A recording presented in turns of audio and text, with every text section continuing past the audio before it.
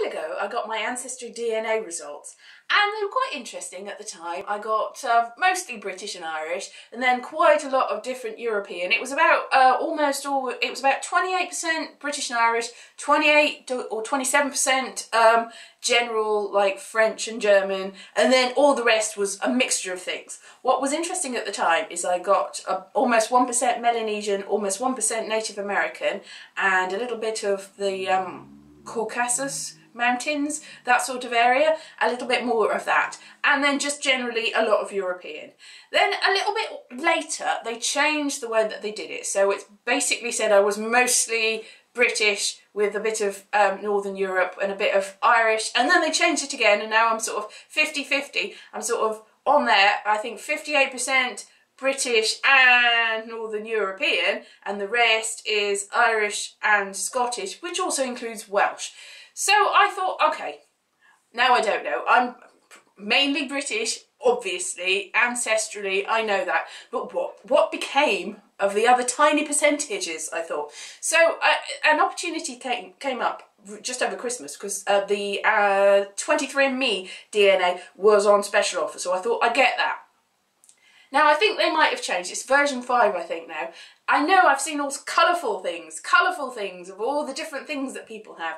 And I've just got my results back. It took a little bit less than a month. I think that's because I've heard that um, 23andMe has just laid off 100 people. So obviously the demand is not amazing. I thought after Christmas it would be, but it's probably not really, really high. So they did it really quickly, which is good on them.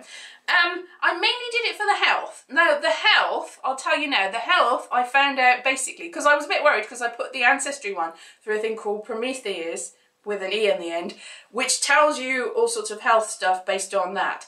And there was a lot of things saying, well, this is probably miscalculated because Ancestry doesn't really report this properly. And there's some worrying things. So I thought, if I got a 23andMe, then they'll tell me what actually is happening and I won't have to worry.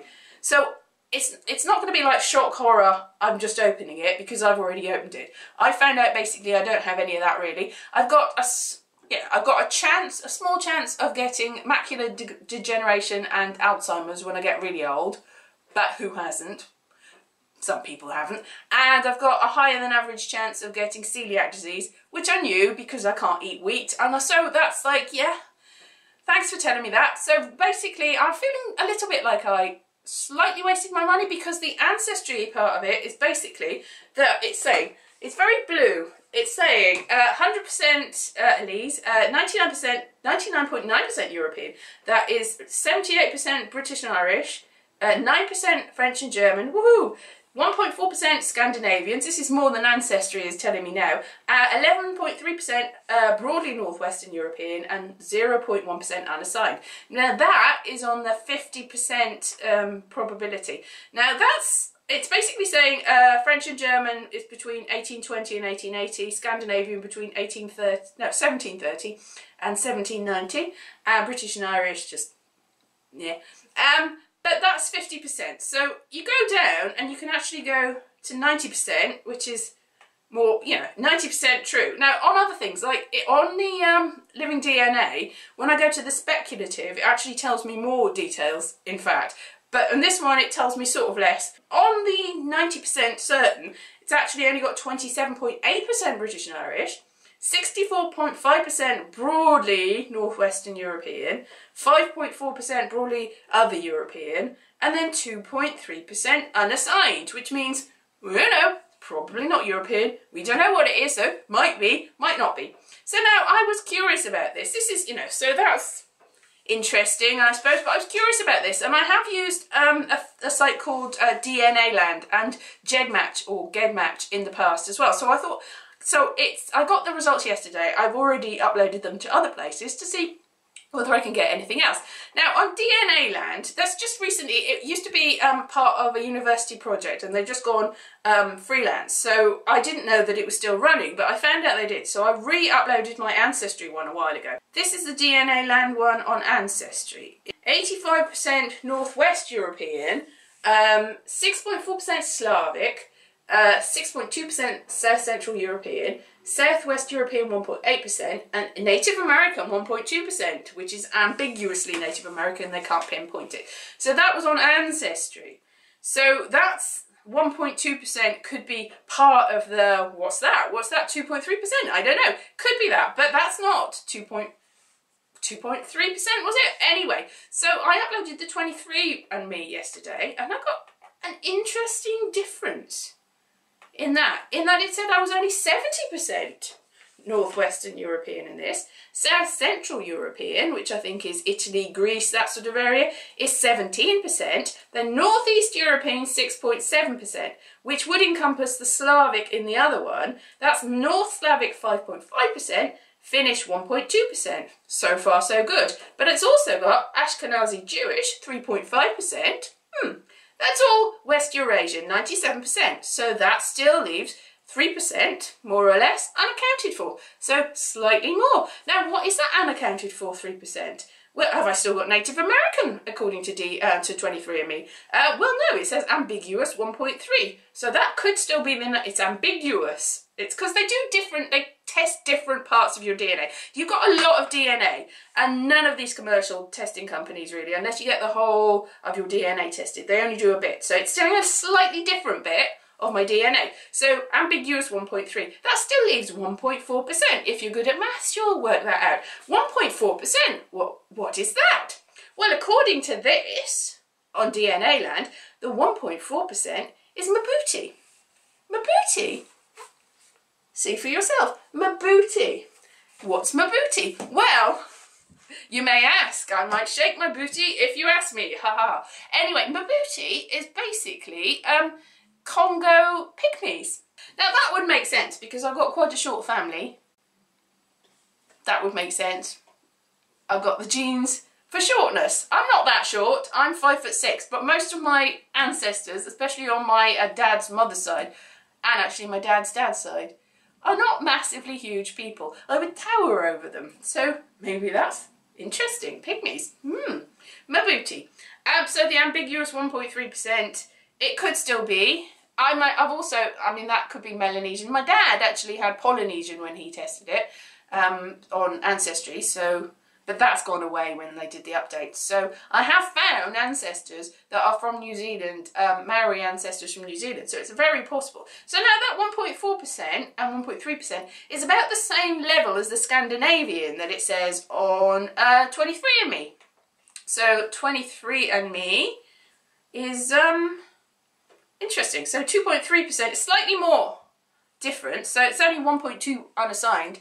So I don't know what, what, what really is going on with that, but there's 2.3% of me that could be different things. So I looked on GEDmatch and um, on GEDmatch they've got one that is uh, called the, um, go back to it, they they've got one thing here, if I can find it, it's the uh, Eurogenes one. And now Eurogenes, if you're mostly European, is quite a good one. Eurogenes 13. So if I put my new one through Eurogenes 13, they've got a thing called Oracle where it says what, um, after you've done it. North Atlantic 50.23, so that's probably Western Europe. Baltic 21.05. Hmm. West Mediterranean, that's, uh, that's Spain, really, isn't it? Uh, that's 15.37. West Asian, 3.5.35. East Mediterranean, 2.85. Red Sea, 0.84. There's a lovely picture there. You can see it. Uh, East Asian, no South Asian. East Asian, 0.45. Siberian, no Siberian. I think I've got South Asian on the one that when it's on Ancestry for this. Amerindian, 2.18%. That's quite high. Oceanic 0.10, I think it's slightly higher on the Ancestry one. Northeast African 1.24%, Sub-Saharan African 0.34. So that's that's about, yeah, 1.6% North African. And Southeast African. Yeah, that would be right. So maybe it's true. That's interesting. So yeah, so basically if you've got unassigned on 23andMe, I think the thing you should do is to upload it to other places to see whether you've got any more information. I'm Oracle, so I'll just, if you click the Oracle here, see after you've got that thing, it goes to Oracle and it tells you what population, so I just did two person Oracle, so it tells you what the main one is and what might be mixed, or if two people, so if you've got two different ancestral strands. So, ah, it says 9.7 4% Southwest English, with 2.6% Mayan or 2.5% Pima or Caritiana, which are basically, uh, or North Amerindian. So that's Native American. And then it goes down maybe different things, or maybe part Irish and part Spanish. Anyway, I thought that was interesting. So basically, I'm mainly British and Irish, but I've got a lot of European, which I'm quite happy about. A lot of different European. That's not necessary. I'm going to say the 27% is mainly Welsh, with a little bit of Irish and Scottish, and the rest of it's everywhere else in the world except for England. Nothing against England. I live in England. I know some lo lovely English people, but I just would like to have some other DNA. Because, to be honest, British DNA is a mix of lots of different things from all around the world. Because before the last ice age, there was nobody living here. Oh, by the way, my um, maternal line is H3, which is um, started in Africa, as, as did we all, went through, and I think that sort of went through to Spain and up through to Northern Europe, so I think that's where that's from. Uh, something like that. Interestingly, I, on my ancestor match, I came up with a cousin, a cousin that I not necessarily talking to anymore, a first cousin who um, has got H instead of H3, but he is on the maternal side. So I'm thinking he must have had a very, very old one because they, they it does say that if they had um, older kits, they don't always come up with as much. So I've got slightly more detail. So H and H3 is still probably the same. I'm, I'm not thinking there's any funny business. There's probably no family secrets there, hopefully. Anyway, that's my 23andMe journey. Woo! Excitement. Not really a big shock nothing really but although it's interesting i i would i would like to keep mine because everywhere else says i've got native american and um, oh actually one of the GEDmatch ones says that brazilian which would which would make sense because brazilian is a, a, a melting pot of of european and african and native american and maybe a little bit of of um, oceanic as well so that'll be fun and a little bit of asian everything we are the world that's fun I like that.